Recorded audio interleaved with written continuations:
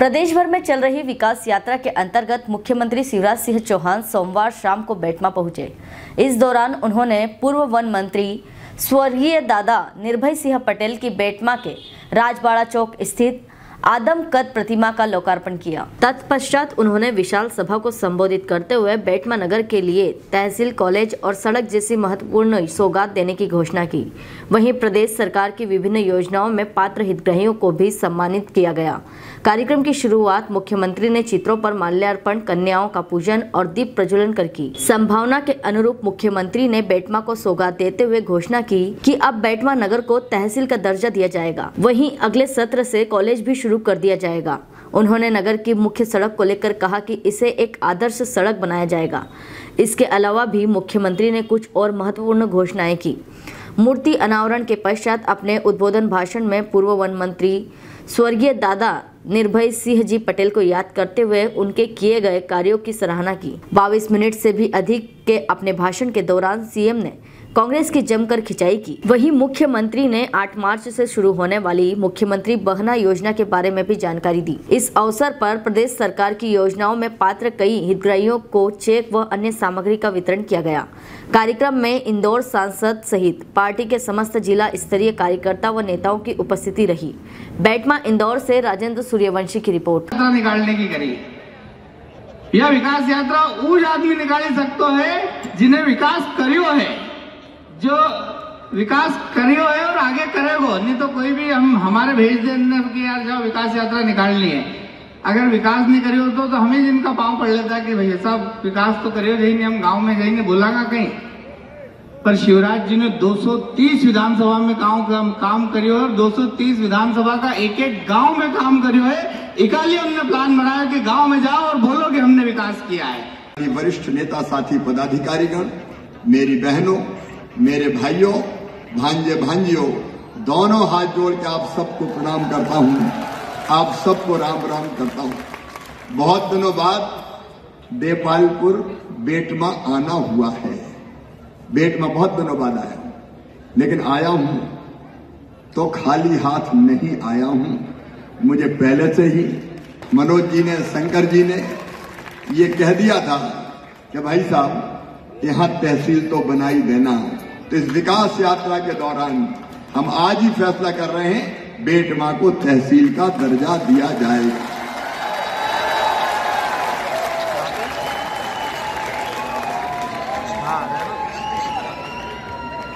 बेटमा में आपने मेरे भांजे भांजियों ने, भांजे भांजी है कि नहीं?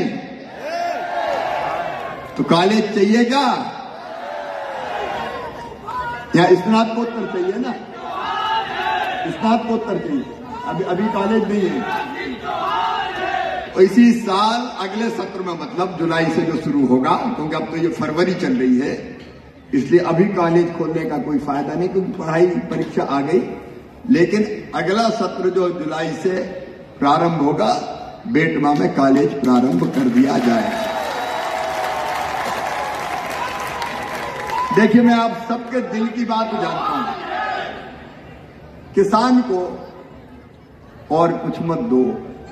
बस पानी दी दो तो किसान की ज़िंदगी संवर जाती है। जरा याद करो मेरे बहन और भाई पचास साल कांग्रेस ने राज किया। नर्मदा जी कल कल छल छल करके बहती थी और एक जमाना था जब कांग्रेस की सरकार होती थी, कांग्रेस के मुख्यमंत्री होते थे।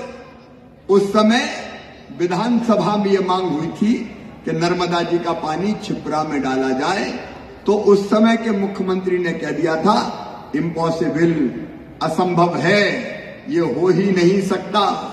लेकिन मैंने जब ये देखा मुख्यमंत्री बनने के बाद, कि पूरे मालवा में, चाहे निमाड़ में हो, अगर सिंचाई की व्यवस्था करनी है तो साधन एक ही है, नर्मदा जी का पानी। और नर्मदा जी का पानी क्योंकि नीचे है नर्मदा जी, हमारे मालवा का पठार ऊँचा है इसलिए नहर खोद के नहीं लाया जा सकता। मैंने देश भर के इंजीनियर्स बुलाए, विशेषज्ञ बुलाए, उनसे चर्चा और बातचीत की और मैंने कहा, कैसे संभव है बताओ? तो उन्होंने कहा ग्रेविटी से तो संभव ही नहीं है। तो मैंने कहा, कैसे संभव हो सकता है? मैं तो संभव करना चाहता हूँ। और जब रुपया की बात आई गई तो आज मेरी बहनें भी बैठी है यहाँ पे। वो लेके आई है, लाडला भैया अलग अलग वो मुझे तख्तियाँ दिखा रही थी, पीछे से दिखाई दे रही थी। सुनो मेरी बहनों, एक नहीं, अनेकों योजना बनी है, लेकिन आज वो भैया और मामा ये लिख के लेके आई है। तो सुनो मेरी बहनों, अपनी बेटियों के लिए, भांजियों के लिए लाडली लक्ष्मी योजना तो मैंने पहले बनाई है। चवालीस लाख लाडली लक्ष्मियाँ हैं। अब उसकी आज मैं बात नहीं करूँगा। अब मैं नई योजना बना दी है मैंने, वो है मुख्यमंत्री लाडली बहना योजना। ये लाडली बहना योजना क्या है?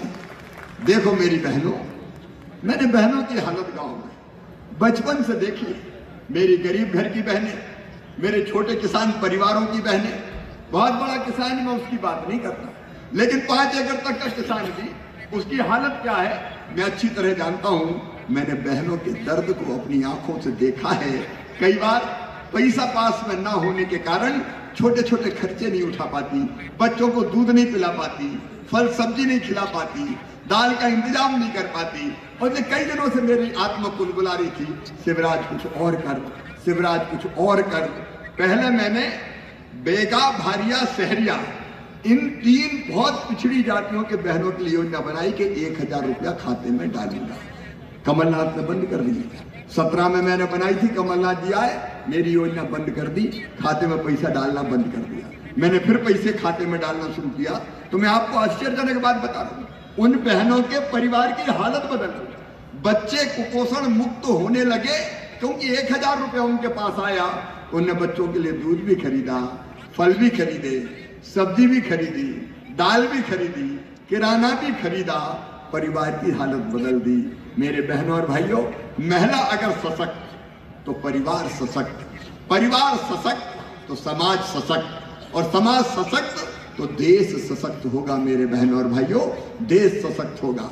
और इसलिए मैंने अब तय किया है कि हमारी जितनी भी बहनें हैं, वो गरीब घर से आए या पाँच एकड़ तक की ज़मीन जिनके पास हो, पाँच एकड़ तक का किसान हो, ये सारी बहनें कोई जाति की हो।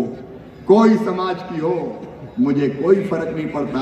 बहने तो बहने होती है मेरे बहनों और भाइयों।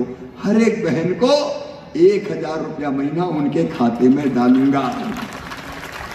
बारह हज़ार रुपया साल बहनों के खाते में, भाइयों के खाते में नहीं डालूँगा। बस उनके मन में नहीं होती। ना उनके नेताओं के अंदर होती है। वो कहते हैं, हाथ जोड़ो अभियान। तो कमलनाथ से कांग्रेसी कह रहे पीछा छोड़ो अभियान।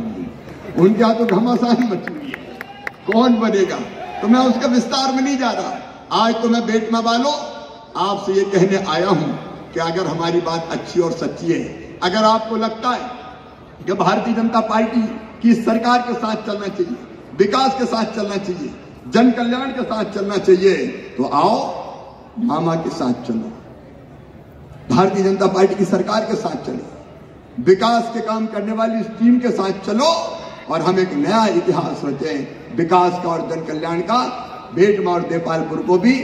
स्वर्गीय इंद्रवय सिंह पटेल जी के सपनों के हिसाब से आगे ले जाने का काम करें। मैं आप सबका स्नेह भी चाहता हूँ, आशीर्वाद भी चाहता हूँ। ऐसा प्रशासन जो गाँव गाँव जाके जनता की समस्या का समाधान कर रहा हो, आप बताओ कांग्रेस के राज में संभव था क्या?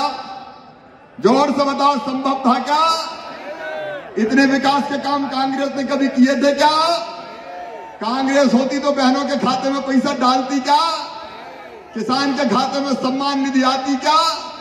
तो आइए मेरे साथ संकल्प कीजिए कि मामा के साथ चलेंगे, भाजपा की सरकार के साथ चलेंगे, मोदी जी के साथ चलेंगे, विकास के साथ चलेंगे जन कल्याण के साथ चलेंगे और ये संकल्प लेने के लिए अपने अपने स्थान पे खड़े होके, दोनों हाथ ऊपर उठा के दोनों मुट्ठी बाँध के, भारत माता की जय बोल के मेरे साथ संकल्प लीजिए। बोलिए, भारत माता की।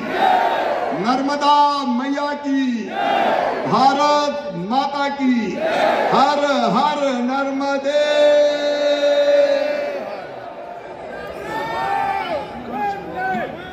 आया चारों नगर पंचायत आज विकास यात्रा के दौरान स्वर्गीय पिताजी दादा निर्भय सिंह जी पटेल की मूर्ति का अनावरण करने के लिए माननीय मुख्यमंत्री जी बेटमा में पधारे थे। इस विकास यात्रा के अंतर्गत हमने उनसे जो भी डिमांड करी, उन्हें सहर, उन्हें सहर्ष उन्होंने स्वीकार कर ली। जैसे बेटमा को तुरंत तहसील घोषित कर दिया जाएगा और यहाँ तहसील का कामकाज चालू हो जाएगा। जल्द ही यहाँ एसडीएम की पोस्टिंग तहसीलदार की पोस्टिंग होगी। फिर यहाँ अगले सत्र से कॉलेज चालू हो जाएगा। कॉलेज की हमने डिमांड करी थी कॉलेज चालू हो जाएगा। बेटमा की सड़क को एक आदर्श सड़क का जैसा लोग पहले कहते थे, पुराने नेता के वादे थे, उन्होंने तो नहीं बनाया, पर माननीय मुख्यमंत्री जी से बात की हमने तो उन्होंने अभी यह घोषणा भी की और साथ में गाड़ी में बैठते से ही निर्देश भी दे दिया कि सड़क का काम जल्द से जल्द शुरू हो जाए।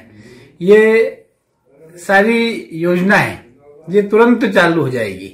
इसके अलावा माननीय मुख्यमंत्री जी से हमने तीन चार बड़ी बड़ी सड़कें मांगी। उन्होंने उसका सर्वे करवाने का कहा है, जिसमें अगले, अब एक साल बाद जब वापस सीएम बनेंगे तो तब वो बड़ी बड़ी सड़कें मंजूर हो जाएगी। फिर, नर्मदा का जल, हम एक, नर्मदा की लाइन तो ला करके हमने कई गाँव में दे दी है, तिरपन चौपन गाँव में हमने नर्मदा जी के माध्यम से सिंचाई करवा रहे हैं। अब एक और लाइन ला करके सौ से अधिक गाँवों को जोड़ने की जो हमने उनसे मांग करी है, उन्होंने कहा है कि इसका तुरंत सर्वे करवा लिया जाएगा। और हमने भी यही कहा था कि आप वापस दोबारा मुख्यमंत्री बने या भारतीय जनता पार्टी का विधायक बने और उसके बाद में ये योजना चालू हो तो उन्होंने सहर्ष स्वीकार किया और जल्द ही नर्मदा जी की एक और लाइन देपालपुर में आने वाली है। यहाँ पर माननीय मुख्यमंत्री जी पधारे हैं और उन्हें बहुत सारी सौगातें दी है। तहसील का दर्जा दिया है रोड सीमेंट कंक्रीट बनाने का और महाविद्यालय खोलने का। इसलिए मैं बेटमा के सभी धर्म बेटमा नगर की बेटमा नगर की जनता को मैं हृदय से धन्यवाद करती हूँ और आभार से आभार करती आभार प्रदर्श करती हूँ। हेलो फ्रेंड्स आप देख रहे हैं हमारा channel S W twenty four news हमारे सारे वीडियो सबसे पहले देखने के लिए आप हमारे चैनल को सब्सक्राइब करें और पास में लगे बेल आइकन को दबाना बिल्कुल भी ना भूलें।